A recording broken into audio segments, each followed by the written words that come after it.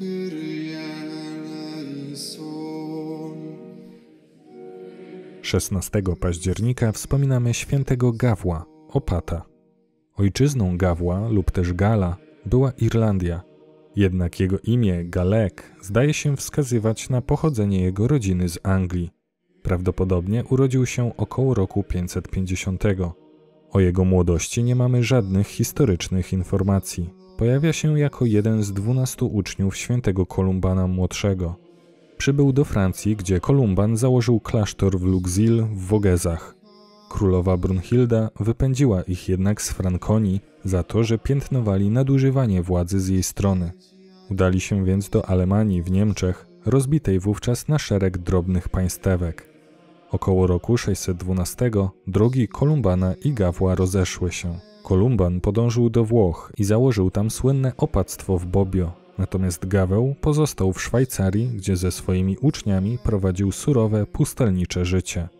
Kiedy zmarł biskup Konstancji, miejscowy lud i kler zaproponował Gawłowi godność biskupa, ale ten odmówił. W pustelni dokonał swoich dni, umierając w wieku ponad 90 lat.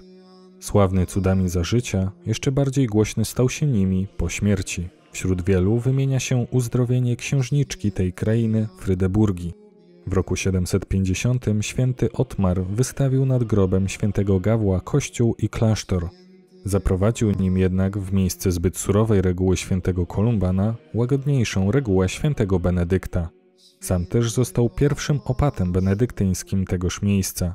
Z czasem ku czci świętego Gala nazwano opactwo St. Galen.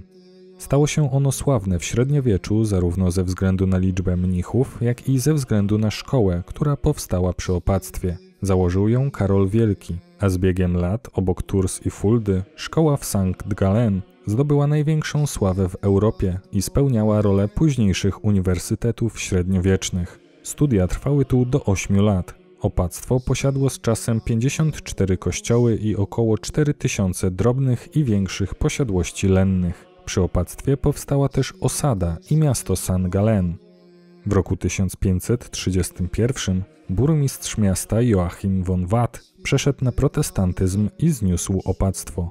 Od tego czasu popadło ono w zupełną ruinę. Obecny, okazały kościół w St. Galen pochodzi z wieku XVIII. Zachowały się na szczęście zbiory dawnego opactwa, a wśród nich około 100 tysięcy woluminów, w tym 2000 bezcennych rękopisów.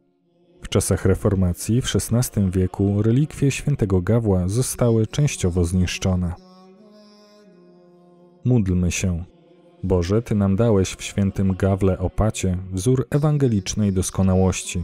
Spraw, abyśmy wśród zmiennych kolei życia całym sercem umiłowali sprawy niebieskie.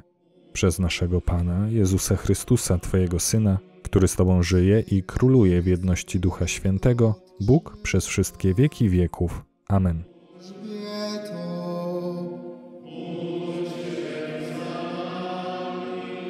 Wszyscy święci, święte Boże.